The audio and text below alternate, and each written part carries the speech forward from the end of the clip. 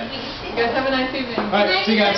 Well, there are a few people still leaving way at the end of the Look evening. at that case of wine. There we oh, go. Bye, guys. Thanks for coming to the French tasting.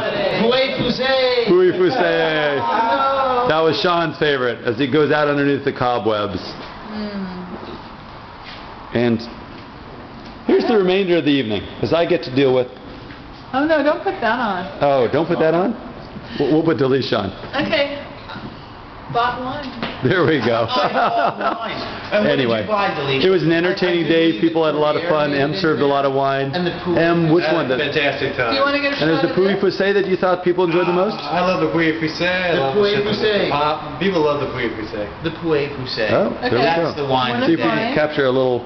Okay, these are some It of the doesn't like winners. that. Okay, this is a, a basic, yummy, everyday wine, under ten dollars, very delicious, yummy. Um, we have oh, very special Pinot Noir from Monterey. Oh, the De Tierra, the Tundra grape fields, which was opened up at the end of the evening and people really enjoyed, including myself. Delicious, Accessible. And Tavel, classic. Are you going to use that for Thanksgiving?